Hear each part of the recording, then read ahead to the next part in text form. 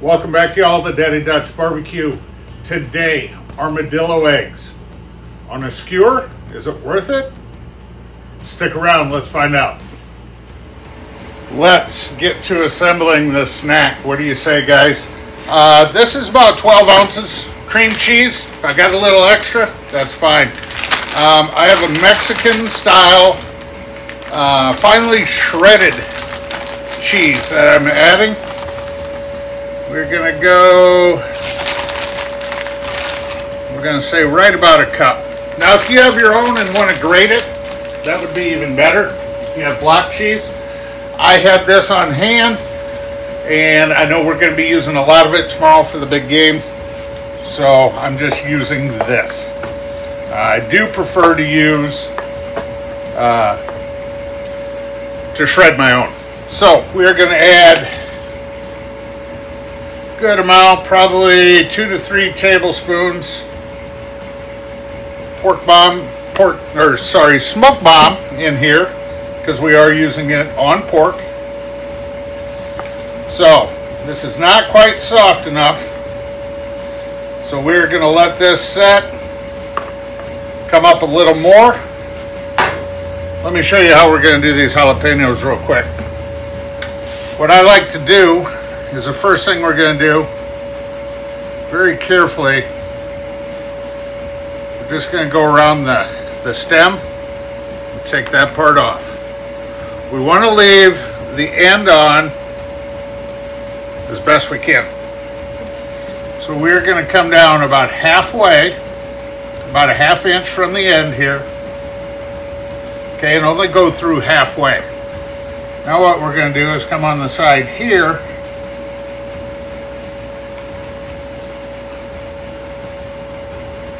be careful doing this. Please do not cut yourself. Okay, there we go. We're going to make a boat out of this. So we're going to take the back of a spoon. Hopefully this is still in camera shot. If not, I'll show you when I'm done here real quick. And we're going to scoop the veins and the seeds out. Now if you have whatever method you prefer to get the seeds out, go right ahead. So, we'll finish the top cap here real quick.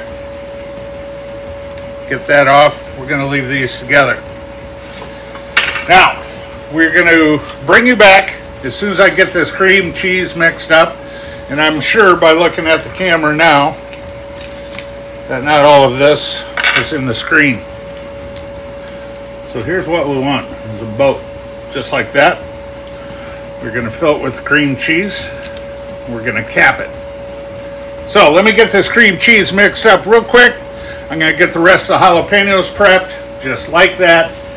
And uh, I'll give you a picture of the jalapenos and everything. And then you can see our sausage and bacon in the back. We're gonna take you to that step next.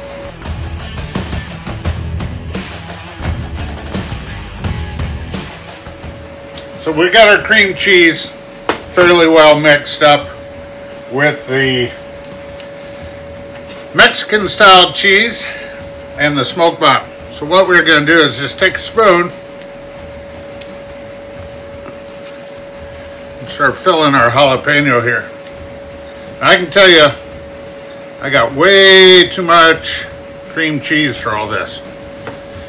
That's all right. Big games tomorrow we'll find a place to use it. Now, we're going to cap it. And the nice thing about doing it this way, hopefully, we have a lot less cheese blowout. So, let me grab a towel real quick. Here we go. Now, if you look back here, I have my pork, just regular ground sausage. We're going to try to see if we can cover these with these six pieces of pork. It's going to be tough. And to be honest with you, I think we're going to need a little more pork than what we have here. Thankfully, we have more in the fridge. Get that towel out of the way. We want these to be big. I'm going to guess it's going to be couple of pieces of bacon, or three, per jalapeno. So, three of these I'll be cooking up today. We already have the GMG Jim Bowie fired up outside. All right. We have some uh, couple small pieces of pork butt on there. For the game tomorrow, we will be doing uh, brisket and pulled pork nachos. So, let's get one of these assembled for you. Oop. One piece at a time, please. We're going to start at the end, overlapping itself. Grab our next piece and just keep going. Now, like I said, I know I'm going to have extra mix left, and that's fine because this is basically the exact same thing as the start to the jalapeno mac. So there, we have one football done. We're gonna get a couple more of these done up and we'll bring you back. Just a couple things left to do. First, we're gonna take our little balls of goodness. We're gonna hit them with a little pig shake on the outside. If you haven't tried pig shake and smoke bomb together on pork, you're missing out.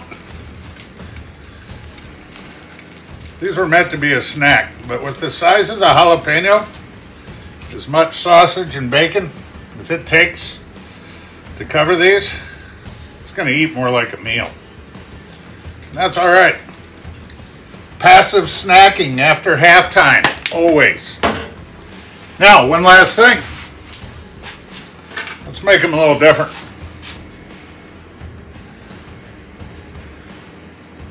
Let's go ahead and slide that through. Careful not to poke yourself on the other end. Come on, where are you at? Wants to argue with me. There it is. There she's through. All right. We're going to finish skewering the last two. We're going to get them on a wire rack. And like I said, the smoker's already outside at 275. So we'll bring you back when we put them on the smoke.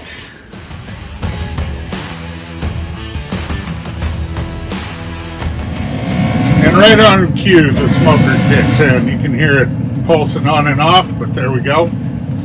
There's our pork butts over there. Let's get this slid in.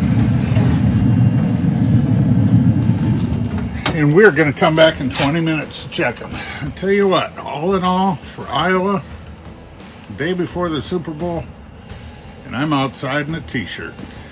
Gotta love it. We are 30 minutes in. Take a look at these guys. A little bit of seepage, but not bad. You're gonna rotate the grate 180 degrees, come back in another half hour.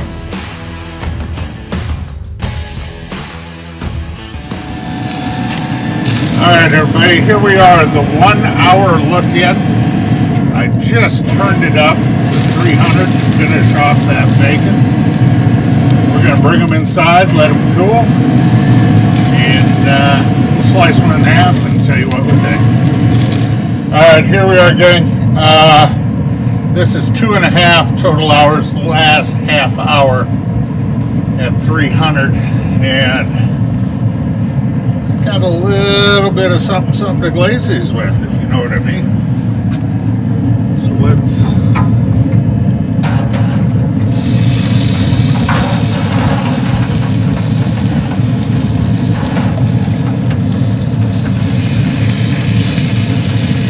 There we go. Let's get these back in, back to bed for 10 minutes.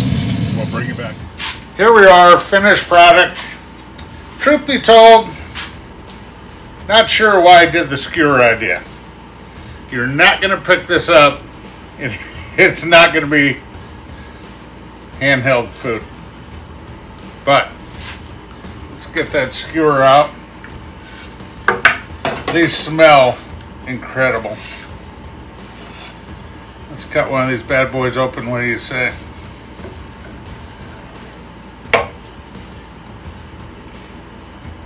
Oh yeah. Look at that creamy goodness in the middle with that cream cheese. So, all right, uh, that is it for this one, y'all. Hey, armadillo eggs, damn, they're good. Just a, a, little reminder, I didn't do it on camera. Make sure you're temping uh, that ground sausage. You want it, uh, you want it a good 160 degrees, and you're gonna get there either way with uh, the getting the bacon nice and crispy. It's not an overly thick layer, but like I said, we're gonna cut these up. Have some tonight, have some tomorrow for the big game. Hope you all enjoyed this one. Give it a try. Go see my buddy Uncle Steve. It's UncleStevesShake.com. And uh, if you tell him Dutch sent you, and there's room in the box, he'll throw you a little extra something something in there. So for those of you in the Texas, more specifically Houston area, I'll be seeing you in less than two weeks. Take care, y'all. We'll see you next time. Bye.